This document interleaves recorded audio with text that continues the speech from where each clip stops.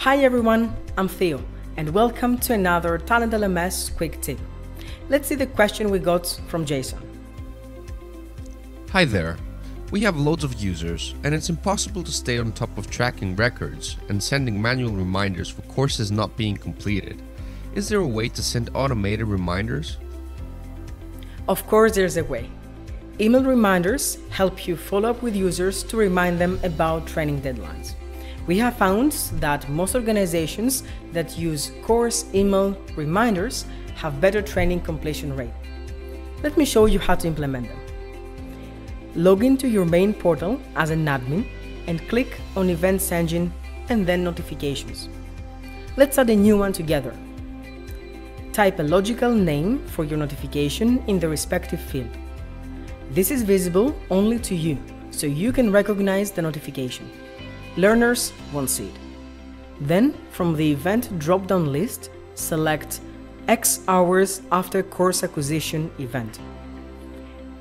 This means the notification will be triggered only for users that are still in progress X hours after they have been assigned to a course. From the receiver drop-down list, choose a recipient for your notification.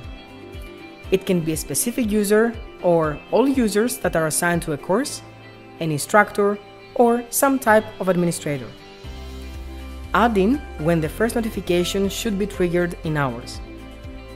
The countdown starts from the moment the learner is assigned the course.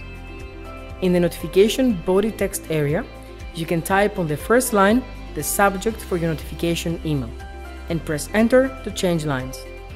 Then type your notification and you can also add the footer with some basic notification info.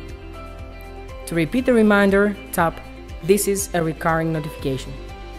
You can repeat the reminder daily or weekly at a custom frequency. And that's today's tip. See you soon for another Talent LMS quick tip.